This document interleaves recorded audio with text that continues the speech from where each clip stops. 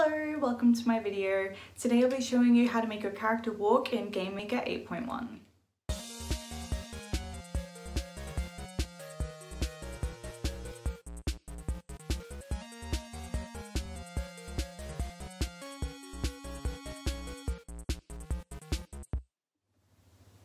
Making a character that moves is pretty straightforward. Just add four keyboard events to your player object, each associated with a different direction. There is a bit of a problem with this. If you run your game, you'll notice that your character just drifts awkwardly across the screen. But what if you wanted a character that walks? Adding animations to objects works a little differently to the drag and drop events, and while it is possible to do it that way, it's a lot easier to achieve this with just a few lines of code. You don't even need a lot of programming experience because I've provided a copyable version of the code in the description of this video, along with links to download the sprite pack I used. So all you have to do is follow these instructions and you'll have a walking character in no time. Let's get started. First up, you'll need to create your sprites. Sprites are fairly easy to make, so I won't cover them in much detail. Just create a sprite from a sprite sheet with at least four images. I've included a link to download a free-to-use sprite sheet pack called Pipoya Free RPG Character Sprites. You may want to resize any 32 by 32 images to 64 by 64 at least so you can see them properly. Make four sprites. Name them SPR underscore player up, SPR underscore player down, SPR underscore player left, and SPR underscore player right. I've already made my sprites, so let's move on.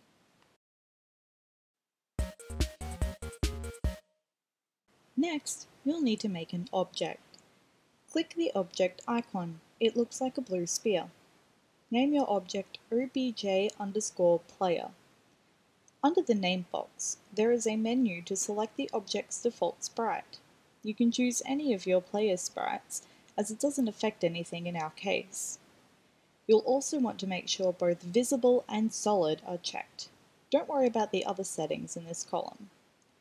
You'll now want to click Add Event and select Create as the event type. A Create event basically tells the object what to do when it's first spawned or when the game starts.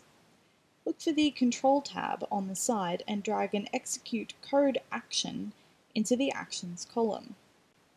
A notepad should come up. Now you'll want to copy this part of the code only and paste it into the notepad. The first three lines tell the object what sprite to display, which image in the sprite to display, and how quickly it cycles through the sprite's images. My image index is 2, since my second frame is the one where my character is in a neutral pose, and image speed is 0 because they don't need to be cycling through images while they're not walking.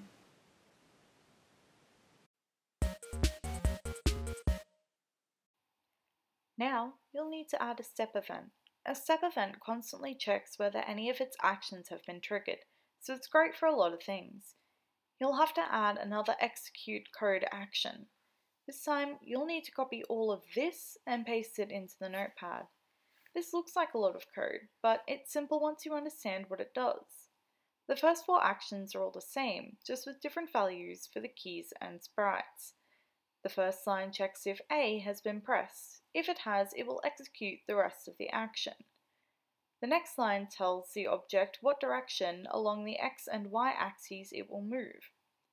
The last two lines in this action control the sprite. Image speed controls how fast it cycles through the sprite's images, and sprite index controls which sprite it uses. The fifth action in this code stops movement when there is no key pressed. Now, create a room and add your object somewhere in it. Congratulations! You've just made a game essentially.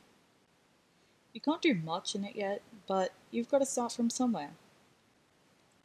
I mean, if Death Stranding counts as a game, then our little walking simulator can also be a game. Save your project and test it by clicking the green play button icon. If you press the W, A, S, or D keys, your character should not only move, but also have an animated walk. Try walking in all directions and stopping. You can also walk diagonally by pressing two keys at the same time.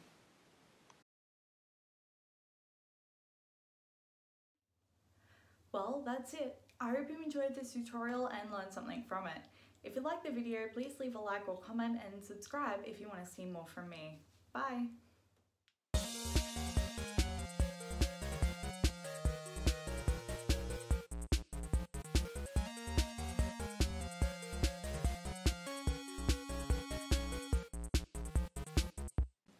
This game is made for walking.